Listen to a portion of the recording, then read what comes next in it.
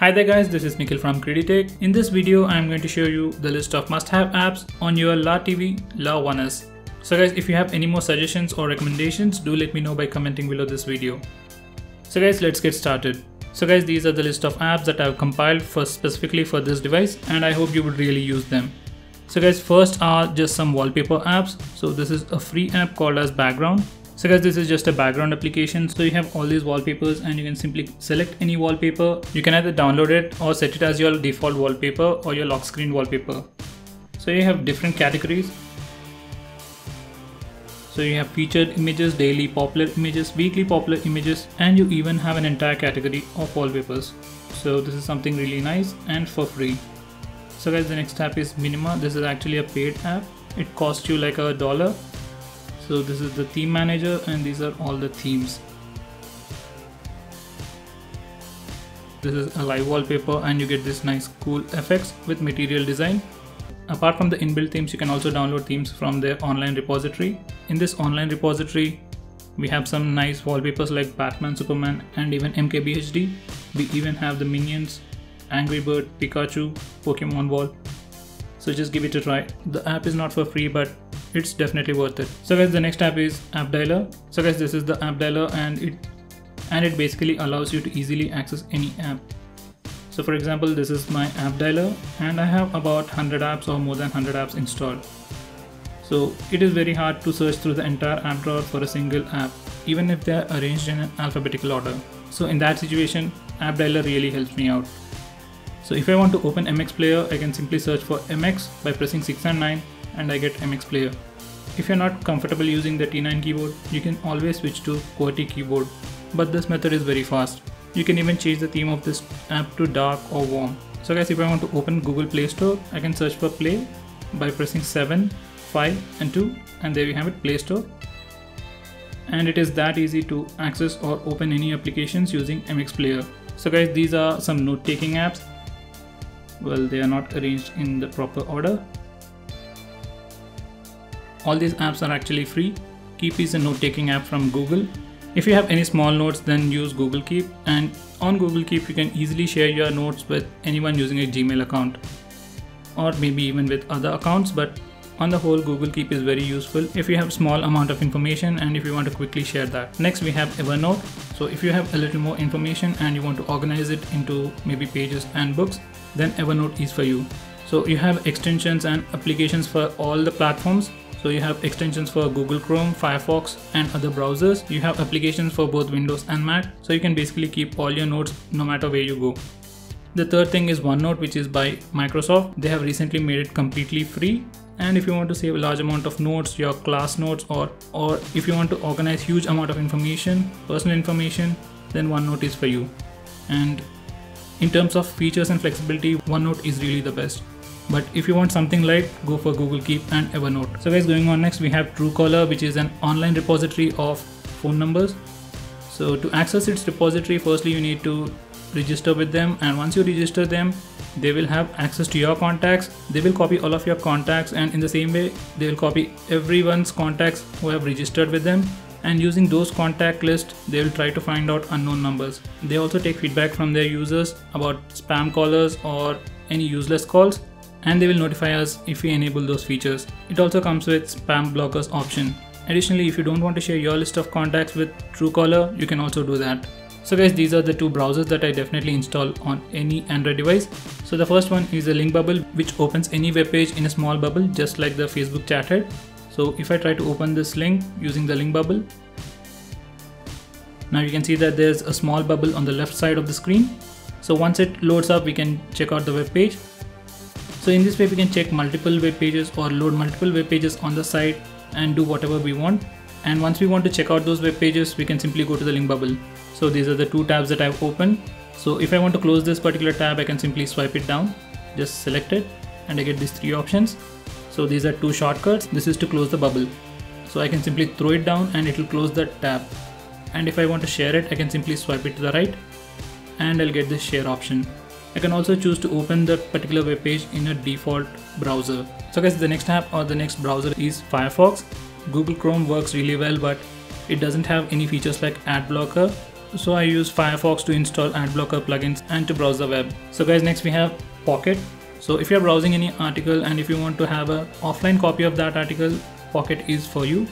You can just send the link or push the link to Pocket or share a link with Pocket and this application will copy the entire content of the web page and makes it available for you to read it offline. So just give it a try. So guys the next app is called as GSAM battery monitor and I use this app on every Android device to see how the battery drains or how quickly the device gets charged and if my battery drops very drastically I use this app to monitor which apps are causing that drain. So it gives us this nice graph kind of a representation and if you can see this is the standby time actually the horizontal line. So on the standby when I was not using the device there wasn't a lot of change in the battery life. So that's something really nice to know. So I can get this kind of information using this battery monitor app. Next we have the automated app. So usually to save battery I do stuff like turning off Wi-Fi and Bluetooth during night time maybe 12 to 7 I even turn off sync at night time and automatically enable Wi-Fi and Bluetooth every day morning at 7 so I do all these kinds of automation tasks just because I'm lazy and to save battery life. Just because I'm lazy and to save battery life. So guys going on next we have AirDroid. So this is your web-based PC suite. Using this application you can backup your contacts and new contacts, backup all your messages, check your call logs and do a lot of stuff. So you need to just open this URL and you'll find a QR code over there. You just press this button and scan the QR code and once you do that your browser window will become a PC suite for your phone. You can mirror your notifications directly to your web browser and you can even reply to messages using your web browser. So it's a pretty cool app to have on any Android device. Going on next we have TSF Shell which is my favorite launcher and currently the default home launcher on this device. So it has got tons of animations, tons of transitions and my personal favorite thing is the lasso mode. I hope I spelled it right. So just double tap on the screen and the lasso mode is enabled. Now I can simply drag or select any icons and now I can arrange them or else I can simply create a folder and put all those shortcuts in the folder. So it's a really cool way to interact with all your shortcuts. So guys this is called TSF shell. And the other best thing is that we can sort all the applications based on the time that they were installed. I usually install a lot of applications and if they are all arranged in alphabetical order, I don't know which application I have recently installed.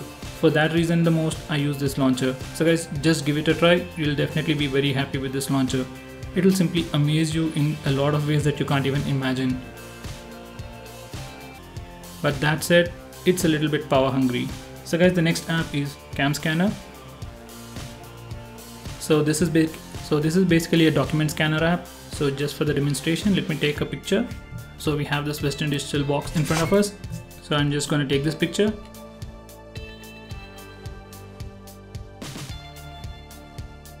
So once i take this picture it gives me the option to crop the area where there is text. So let me just do that. Now it is cropping the area where there is text and it simply enhances the text. And I can save this version of the text. I can also tweak this image, make it completely in black and white and do other cool stuff. So definitely a must have app on your phone. It'll definitely replace your short term needs for a scanner and it's definitely a better alternative for your normal camera app. So the next app is called Power Toggles and this is how it basically looks. This is just the settings interface. So on the notification bar we don't have any toggles in our LeTV and as we are usually accustomed to find notification toggles over here I find myself more than 100 times always going to the notification area to enable few toggles. So for that reason I have used this app and now I have these toggles. So I have the toggle for enabling sync, Wi-Fi, location and I have some more over here.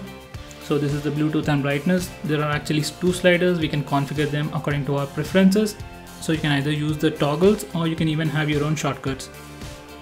So this is for slider 1 and this is for row 2, slider 2 and these are the notification toggles available. So definitely give it a try. So guys that's definitely a must-have app at least on this device. The next app is OVO which is a very simple and beautiful timer. Once again an app that I use on every Android device. It's very simple elegant beautiful and does the work that it's supposed to do. So guys next app is IMO which I've been using very recently and I use it mainly to make video calls and the video quality and audio quality are pretty good. So guys these are the two keyboard apps. So the first one is the Swift key and let me just enable that.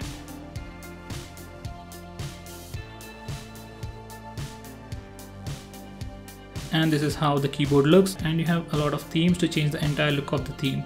If you're someone who uses the swipe feature a lot, then use Swift Key. This is by far the best keyboard app with Swift functionality. The auto correction works really well. So if you're someone who wants more than a swipe feature on their keyboard, then TouchPal will definitely satisfy you. So guys, this is how the keyboard looks and like other keyboard apps, we even have the different themes for this and swipe works without any problem, but it isn't as accurate as SwiftKey.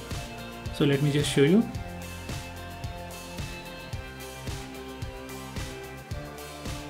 and there you have it and apart from that you have this nice gestures so if I want to enter numbers I can simply swipe up from here and apart from that we have navigation keys. So we can simply navigate through the keys or select all the text and do a copy. Or we can cut the text and we can even paste them.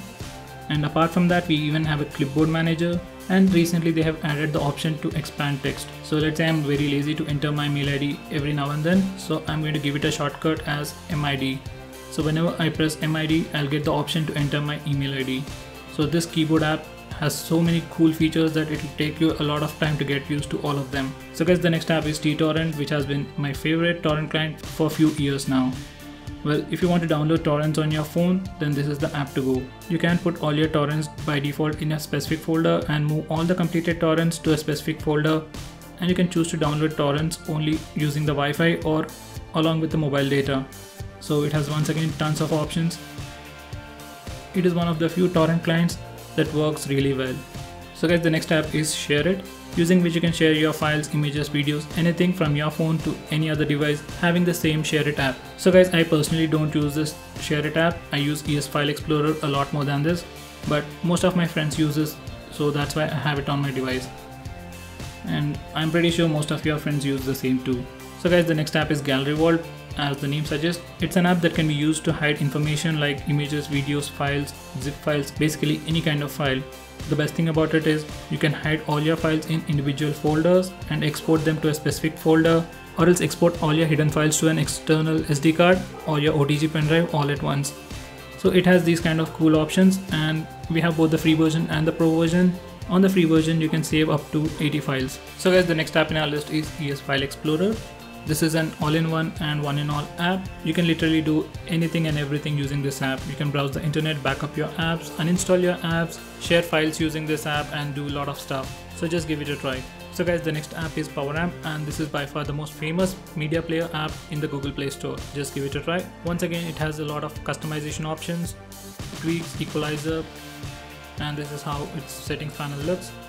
So you have a lot of presets and as I've said once again, tons of customization. So guys, the next app on our list is HotShield. If some of the websites that you are access are being blocked by your maybe government policies, then this is the app to use.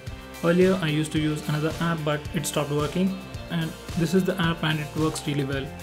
It basically takes all your traffic through a VPN and gives you access to any blocked website. So this is how the app looks once you open it up and you need to simply press this connect button to make it work. The next app is Opera Max and and this is how it looks. If you want to save data while browsing using your mobile data, then this is the app to use. You can use this app over your mobile data and Wi-Fi and you have the option to manage apps. So using this app, you can control which apps have access to internet and which don't. So if you want to block internet access to any particular application, make sure you use this app and disable that app in the app management. This once again also works based on the principle of VPN. So all your traffic comes through the Opera Max VPN where it gets compressed and on your phone it gets decompressed. So guys these are the two media players that you can use to watch videos on your device. So my default option is always MX player and if I want to watch any video in slow motion then I use VLC media player. I use it specifically to watch trailers. Next we have swipe pad. For a device as big as this, we can't easily access the navigation buttons and we can't always go to home to switch between apps so this is the swipe pad and as you can see this red area this is a trigger for the swipe pad so when I swipe my finger from this edge I get this pad or shortcuts so I can simply place my finger on any of these pads and release and the app over there will be launched So let me just show you that once again. So this is the trigger area and when I swipe my finger from here, I get access to all my favorite shortcuts. And as of now, I have only configured app dialer. And now once app dialer is open, I can open any app that I want very easily. So ES Explorer. So it is that easy and I don't need to go to the home screen to switch between apps. So guys, the next app is Textra. The stock messaging app on this device isn't that good, so I use this Textra app. It has three unique features apart from changing themes. So firstly, we can mark all the messages as read. Next, we can select any particular conversation and block it completely, like adding it to a blacklist or a block list. We have the same feature even in the stock messaging app. Next thing is that we can disable notifications from this particular contact. By doing that, whenever I get a message from that particular contact, I won't receive a notification. So guys, these are the three apps that comes pre-installed and out of which you should definitely use Google Photos. You have the option to upload all your images at high quality for free of cost to your Google account. And once you upload all your images, it will create some awesome movies and animations, which is the only app that can use your infrared sensor. So using this app, you can control your television or AC using the infrared sensor. So there you have it guys, these are the list of 25 must-have apps on your LeTV La One S. So if you have any doubts, do let me know by commenting below this video. And I'm sorry to rush the last few apps because it was taking too long. So if you found this video to be helpful, give me a thumbs up and share it with your friends and subscribe to my channel to see more videos just like this.